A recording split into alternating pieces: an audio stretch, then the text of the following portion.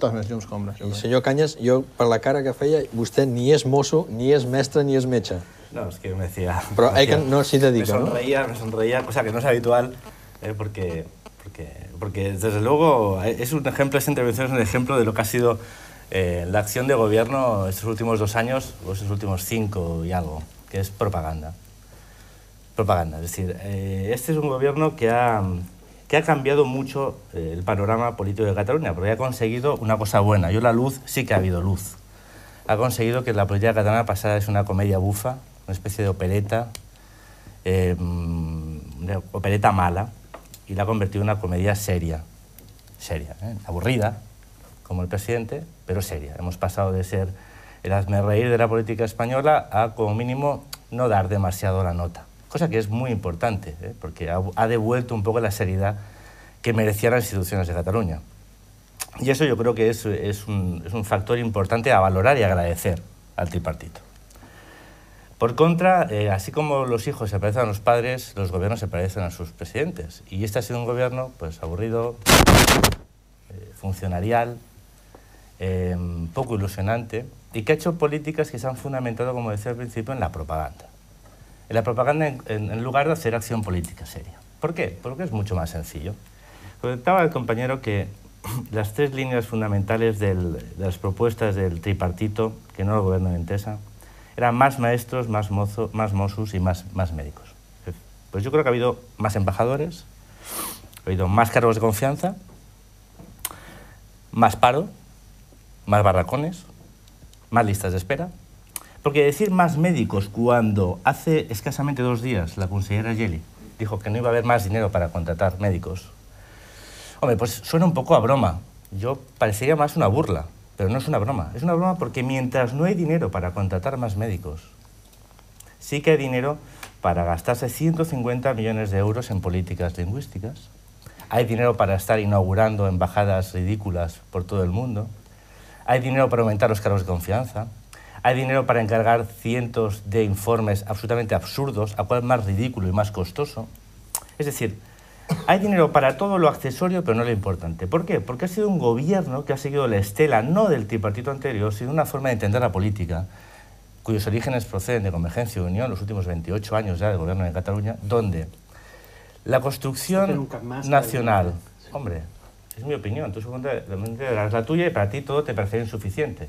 Te parecería insuficiente gastarnos dinero en, en- en idio- en idioteces. A mí me parece absolutamente, absolutamente vergonzoso que tengamos dinero para contratar por 90.000 o 100.000 euros a un embajador en París que es hermano del, del señor Carlos Rovira y no tengamos dinero para contratar oncólogos. A mí me parece lamentable y vergonzoso. Supongo que a ti no, a ti seguramente te gustaría aumentar la dotación presupuestaria A mí no, en políticas de FEPAIS. Para mí FEPAIS si es tener más médicos de verdad, pero, pero no, es de, no de mentira, más médicos de verdad, más médicos de No, verdad, no, no, más médicos de verdad. ¿Me dejas acabar? no. ¿Me dejas acabar? ¿Cómo que no? Me dejas no. acabar un momento. Y después tú intervienes, haz lo que quieras. No, me dejas acabar.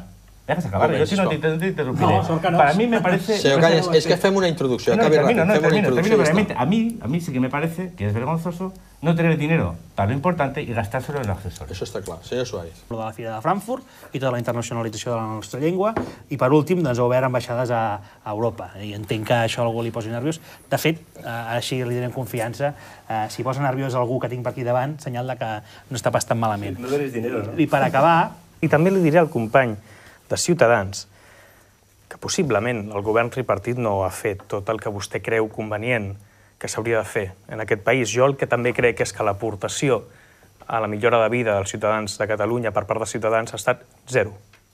Eso serán los medios de comunicación que controláis.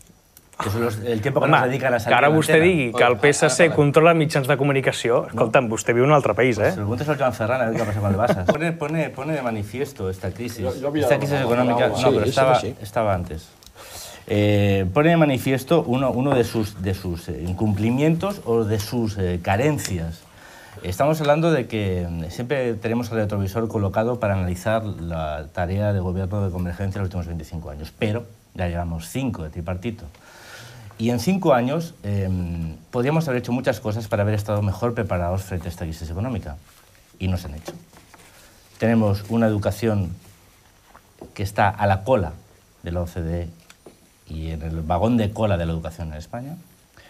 tenemos un tejido productivo que ha sido incapaz de modernizarse con la, suficiente, con la suficiencia requerida para poder afrontar una situación de crisis internacional eh, de una forma eficiente, y lo estamos comprobando. Lo estamos comprobando.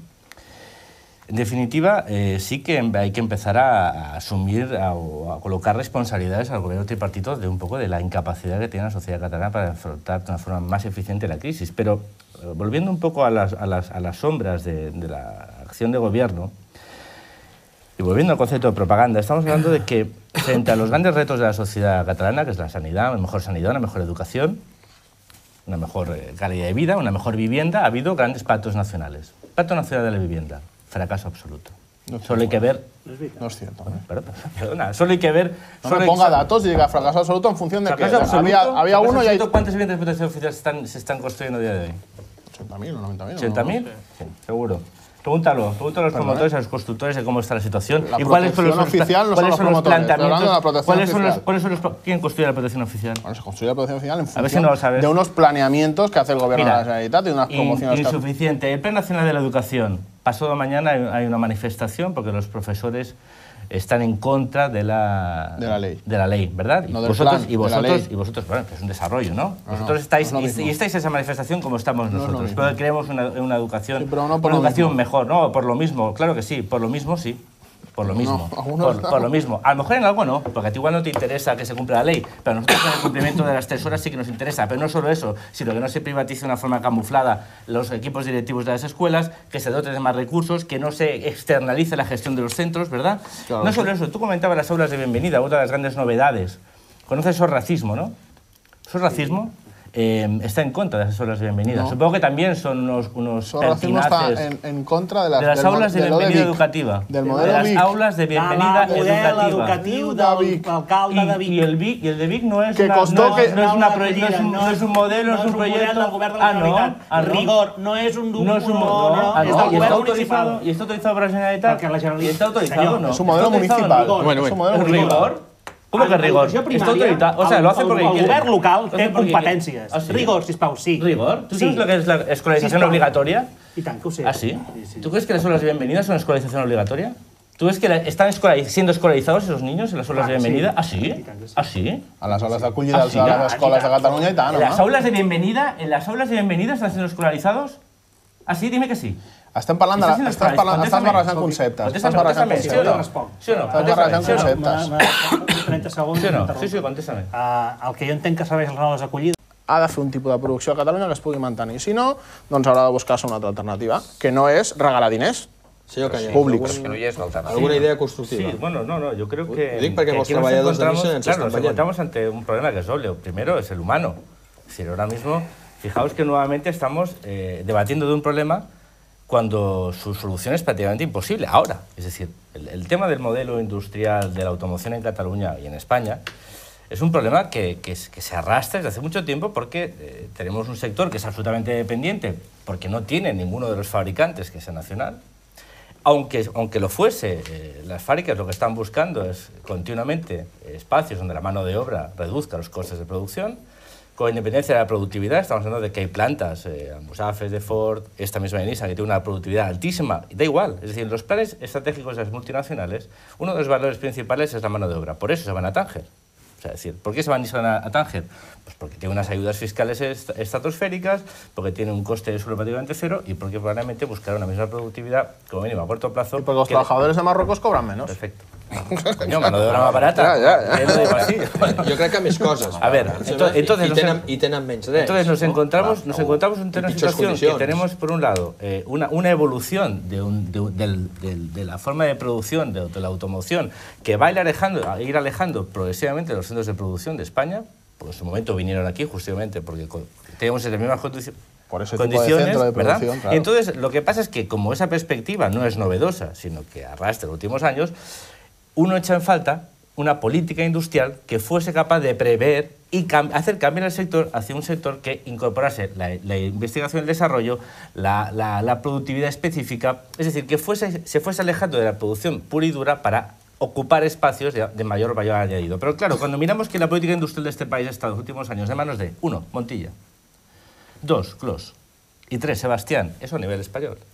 y a nivel, y a nivel catalán, pues que yo creo que aquí la incidencia o la capacidad de políticas específicas es más limitada, aunque no inexistente, porque, por ejemplo, hay otras comunidades autónomas de España que han apostado, por ejemplo, por, las, por la política industrial de aeronáutica, que tiene una mayor, eh, una, una mayor sedimentación en el territorio, porque depende generalmente de grandes planes industriales estatales, y que sin embargo aquí pues, se, ha dejado, se ha dejando de lado, no se ha apostado netamente. Con lo cual yo creo que hay que hacer doble análisis, uno, de dar una solución eficiente y rápida ante un problema personal que se encuentran los trabajadores en Nissan gravísimo, gravísimo, porque hay muchas, muchas familias que, que trabajan las dos parejas allá, y después ir proponiendo y preveyendo la necesidad de modificar el modelo productivo eh, que incorpore Señor un Suárez, valor añadido al sector. acabem ja. Sí. Nos dirá a todos si es una nueva forma de- leer las necesidades de los ciudadanos y de hacer política o es una nueva forma de populismo posmoderno.